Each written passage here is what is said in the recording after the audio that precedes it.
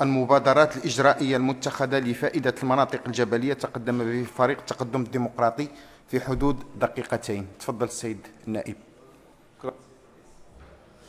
السيد رئيس الحكومة السيدات والسادة الوزراء المحترمين السيدات والسادة النواب المحترمين. السيد رئيس الحكومة سؤالنا اليوم ما هي الإجراءات ما هي الإجراءات التي ستتخذونها إزاء المناطق الجبلية؟ شكرا.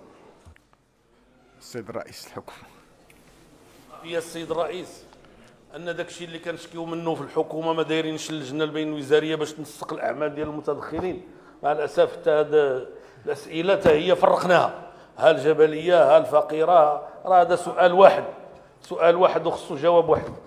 ولهذا حنا اللي كان اللي كنقولوا بالإضافة لذاك الشيء اللي قلنا من الماء والمجهودات اللي بذلناها والكهرباء والخدمات الاجتماعية وإن وانجاز مشاريع محلية مندمجة للتنمية وانجاز مشاريع كبرى مهيكلة حظيه المناطق الجبلية بالأولوية في مشروع الأشجار المثمرة لبرنامج الألفية بالمغرب تحسين دخل صغار الفلاحين في المناطق الجبلية الواحات لفائدة 125 ألف فلاح. بغلاف مالي يقدر بجوج فاصلة 8 مليار ديال الدرهم. كما تم وضع برنامج لتنمية سلاسل الإنتاج في المناطق الجبلية ومنها مشروع إقليم الحوز وتزال فائدة 214 ألف فلاح ب 410 مليون درهم بالإضافة إلى استصلاح وعصرنة شبكات الري الصغير والمتوسط على صعيد مناطق والمناطق الجبلية على مساحة 17 ألف آه، هكتار برسم 2013 ويتم العمل حاليا على إعداد برنامج للتنمية القروية المندمجة على مستوى ثمانية أقاليم تتضمن مناطق جبلية بني ملال أزلال خنيفرة ميدلت إفران تونات شيشاوة والحوز. شكرا. شكرا سيد رئيس الكلمة للسيد نائب محترم.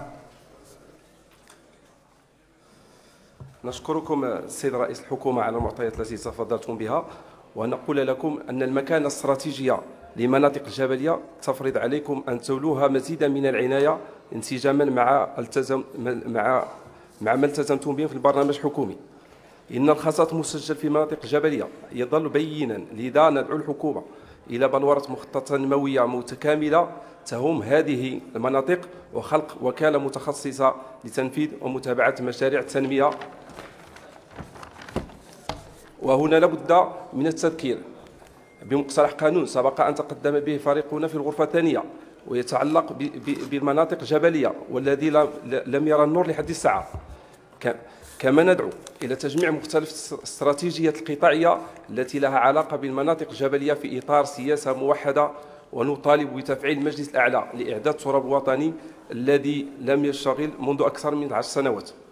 وفي السياق لا بد من العمل على مواجهة مظاهر الهشاشة والعجز الاجتماعي وسيادة الفقر وغياب أبسط شروط العيش الكريم من خلال ضمان الولوج إلى الماء والكهرباء وفتح الطرق والمسالك وبناء المؤسسات التعليمية والداخليات والمراكز الصحية وتوفير شبكة اتصالات ومختلف الخدمات العمومية بشكل يستجيب لمتطلبات الحياة الصعبة بهذه المناطق. وشكرا سيد الرئيس. شكرا سيد سيد النائب سيد رئيس الحكومة. هو باقي باقي نفس المشكل السيد الرئيس وانه هذاك الشيء اللي تنديروه الحمد لله مهم ولكن ما كافيش هذه هي الحقيقة. ولكن اللي مشى المعرض الفلاحي اللي كنديروا في مكناس كل سنة وشاف التقدم اللي تيحدث فيه سنة بعد سنة. وهذاك الجوائز اللي كنعطيو للناس على المنتوجات الجيدة اللي كيديروها والتقدم اللي كيديروا كيفهم باللي الأمور تتقدم في البلاد. ولكن باقي ما وصلناش لذاك الشيء اللي كان اللي كان اللي كان اللي كنتمناو. وحنا كنقولوا للساده النواب استمروا في المضايقة ديالنا لأنه راه الحكومة يعني إلا ما لقيتيش اللي غادي يبقى يذكرك راه الدواهي كل وحده كتنسيك في الأخرى ما بقيتي عرفتي راسك أشنو كدير. شكرا لكم. شكرا لكم.